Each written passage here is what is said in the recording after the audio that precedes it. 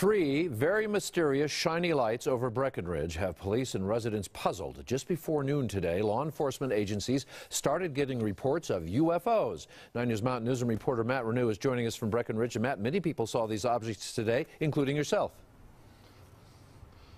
You bet, Mark. It has been the talk of the town around Breckenridge all day. Even if now here at 5 o'clock, I'm about the only person willing to get in front of a camera and talk about the UFOs that were flying overhead. There was three white dots, I'll show you, that were flying over a Breckenridge behind me late this morning. Looked as if they were hovering right over Baldy Mountain behind me. And while no one from the Breckenridge Police Department or Sheriff's Departments wanted to talk about the objects on camera, several people at those organizations saw them and others around town reported the strange things flying over the skies of Breckenridge, sending police out to investigate these shiny white tiny dots in the sky. Some people off camera said they saw them form triangles and a line. On our camera, it seemed as if they didn't move at all. In fact, it took some help for most people to even see them.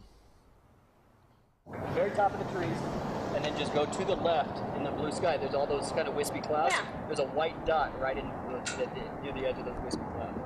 Just to the left of the second pine tree, there's a white dot. The FAA didn't have a comment on what these dots could be, nor had said they're not tracking any abnormalities at this time. But yesterday, a TV station in Utah reported very similar white dots appearing in the sky over Utah. The objects were visible for about three hours. They showed up best when the sun was reflecting off of them. Mark, we also called the Strategic Command as well, U.S. Strategic Command. They said they aren't tracking anything, but they typically track those objects that come in from outer space and then enter orbit. They believe whatever these were were probably below their range of tracking. And not drones, you don't think, Matt?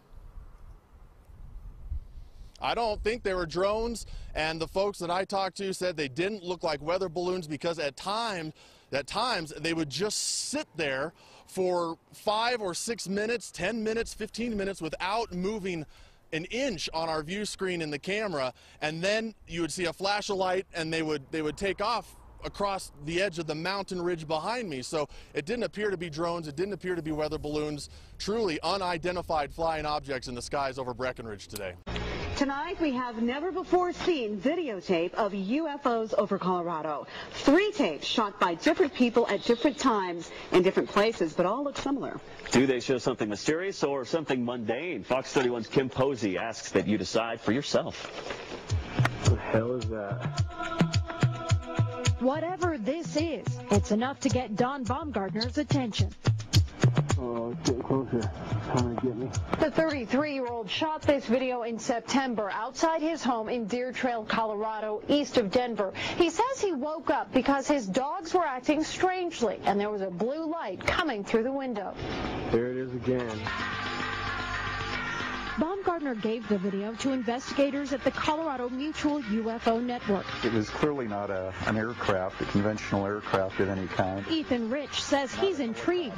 The pulsing ball of light seems to have a flattened top and bottom and an object inside. It, it does display virtually every color of the spectrum as it it's uh, uh, strobing. Driving home from a friend's house after an evening out about 11:30 and on my way home on the county roads I thought somebody was following directly behind me like too closely. So I pulled over to let them pass me. No one came. I could smell static electricity but there was no lightning so then I get home and I go in and I grab the camera and I just start recording.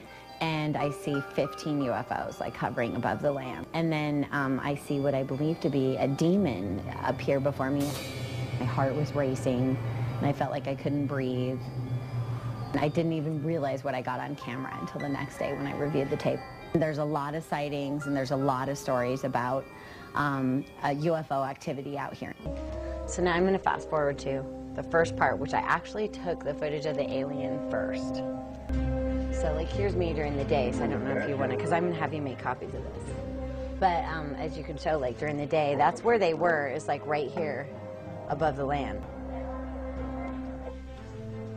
Okay, so I'm walking around trying to take video of, of the half-shell UFOs. Okay, that's where they were, is like right here above the land. So the lady at MUFON is the one who told me these are light rods. I call them light worms.